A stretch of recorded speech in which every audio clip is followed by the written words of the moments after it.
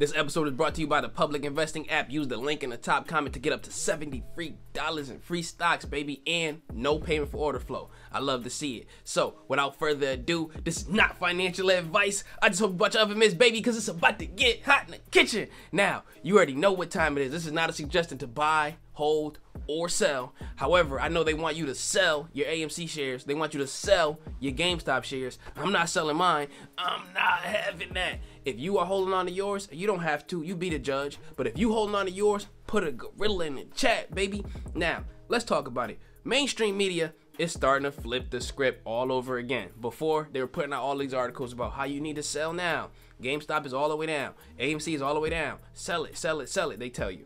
But you know what? Look at how they flip the script after it runs up, after they told you to sell low, right? CNBC, again, allegedly, supposedly, hypothetically, even though I got the receipts, nobody's trying to get sued. But check this out. The meme stocks are not dead yet, they said. Why GameStop and AMC are holding up.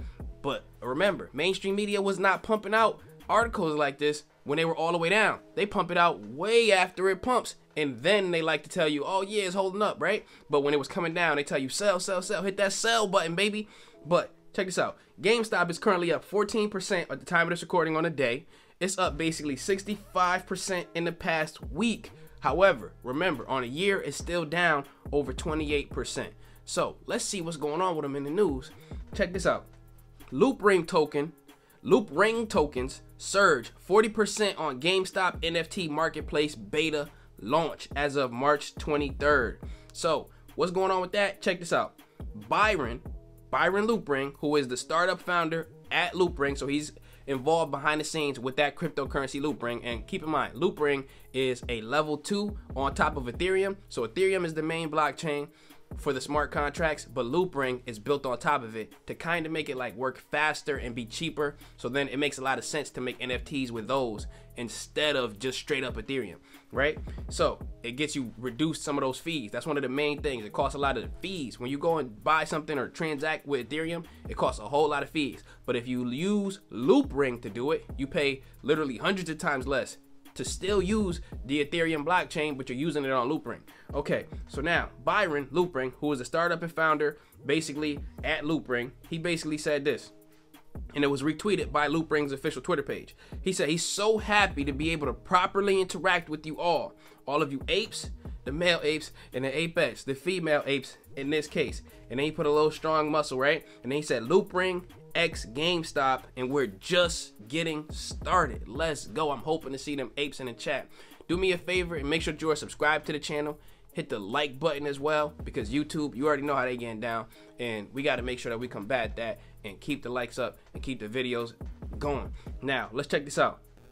When you look into what's going on, they said this has potential to cement itself on the forefront of this new paradigm basically of global digital economies.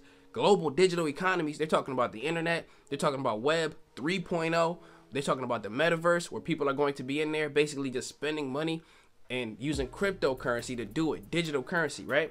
Let's check this out. There are rumors, or there were rumors, basically since November. You know how people buy the rumor and sell the news. Remember that. There were rumors since November that basically this was a metaverse or a metaverse related project and now we're getting a confirmation on that. So keep that in mind. Now, why is this even important at all? I want you to think about how people are buying things online. Think about if you ever played Fortnite or you know someone who was playing Fortnite, how they have many different skins for your character, how you could go in there and you could be different kind of characters like Carnage, you could be Spider-Man, you could be probably Darth Vader, all these different kind of other mainstream characters. But if GameStop and Loopring get the NFT space basically in the marketplace going, then they'll be able to actually sell these things to everyone basically in the metaverse or even on Twitter or even online or anything like that. But they could literally buy these things and then keep those buy orders on the blockchain. So then let's say that they wanted to release only one character who was Spider-Man and you had to pay XYZ amount to be Spider-Man, then in this case, you would be the only one able to do that or a limited amount of people will be able to do that and it will be locked into the blockchain to make it so that is the case and there's no disputing. Now, let's keep it going. Let's look at a real world example of this already being done. And look at this. cool Roblox outfits, the video game Roblox, right, where you can spend your Robux. Your kids, nine times out of ten, have either played this or have friends that are playing this, right? Cool Roblox outfits that cost less than 500 Robux. Robux can be bought with real USD and then you can spend it in a game, kind of like a cryptocurrency, but in a digital online currency that has real value in the game that can be translated right back into the real world again. Because you can actually sell Robux for real dollars. Now, let's check this out. People are actually, particularly children, are actually buying these different outfits for their characters or their avatars in these games. Now, Loopring and basically GameStop are going to get in on this kind of an idea, but they're going to actually expand it into you could consider what you could do with NFTs. You can make land, right? You could have music, any kind of media, really, you could turn it to an NFT, and now they'd be actually able to track it and sell it. This is a great fundamental thing for the company of GameStop. Let's get to our fast fact of the day. Did you know that GameStop opened up Movie Stop? In 2004. It says this In 2004, GameStop took its first steps in other media markets, movies in particular. They opened Movie Stop and they had 40 different locations, right? And they were focused on selling retailers movies, right? Similar to how they would sell games, like on the disc, right? Did you know that? Let me know in the comments. Yes, I knew that, or no, I did not know that. But let's get to the short interest on AMC.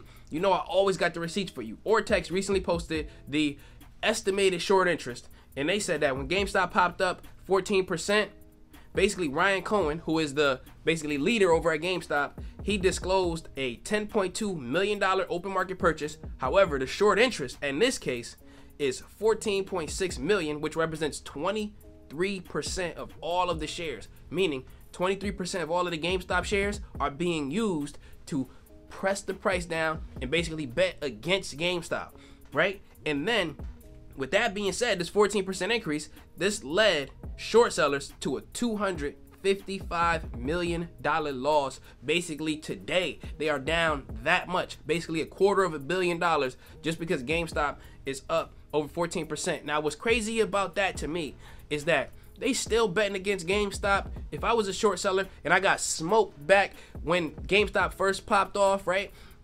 I would have just let it go and let it be. But you see the arrogance of Wall Street, how they always feel, you know what? I know I was right, and they just keep digging a hole and digging a hole and digging a hole. We already heard about the billions of dollars that these short sellers have already lost, and they just can't stop. They can't stop, won't stop. Now, let's get to this. GameStop institutional holdings. Believe it or not, some institutions are still holding on to GameStop shares the long way. So, check it out. Institutions own 26% of GameStop as of the last reported quarter. They increased their position by 1.2 million shares. Last quarter, they decreased it by 1 million. So there was more buying than selling of GameStop in the last quarter. And then new positions, basically 312,000. And then sold out positions, 152,000. So believe it or not, more institutions are buying GameStop than actually selling it. Just slightly, but more buying than selling. Now, check this out. You know Wall Street is always hating on whatever retail investors like. Let's look at the price targets on GameStop. Always take price targets with a grain of salt. They're not Nancy Pelosi. They don't know. So check it out. They said that, and they don't know for certain, but they do try to put some fundamental values on these. And I do want you to think of this though. With GameStop and Loopring opening up this new NFT marketplace, this fundamentally makes GameStop a more valuable company than it was yesterday. So check it out. They say it's $51, and this is a decrease of basically 63% where they see it's going to go. The highest price target is $100, and then the lowest is $23 of all three analysts that rated it in the last three months, which is crazy because you know GameStop is one of the most popular stocks on the entire market, and only three analysts rated it that tells you how Wall Street feels about retail investors and the things that we're interested in. So basically, two of them said sell it, one of them said hold it. Let's look at the levels. Remember, this is one of the most important parts of the video. I always want you to understand the supports and resistances. So we have a resistance at about 142, just in that range. The 142 range, if we break above it and hover and stay above it, family, there's almost no resistance there's some, but almost no resistance all the way up to the 155. So we would love to see that run from the 142 to the 155 range. You already know what time it is. I'm not telling you to buy, hold, or sell call options, but understand that there's no resistances up there. There could be new resistances that come at 150, but be on the lookout for that.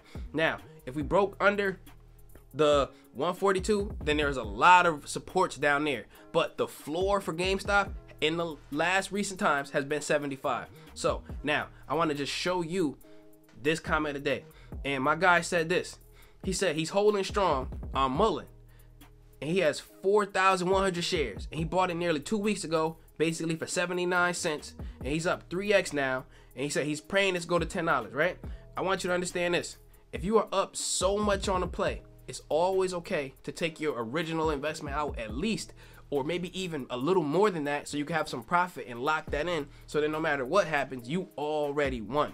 Now i'm not telling you to buy hold or sell that but again when you invest and you hope that something goes here or pray that something goes there that's not a great way to invest family. You got to have the data you got to have the facts but remember this if nothing else. If you can't handle the heat of these hot stocks then stay out of the kitchen and consider investing in index funds. Mullen is a great swing trade. If it runs up to here and you make three extra money guess what I'm selling some and then I'm rinsing repeating, baby. When it come back down, I'm buying it again. It goes back up. You already know. Rinse and repeat. Again, hit the like button on your way out. I love y'all. Take care.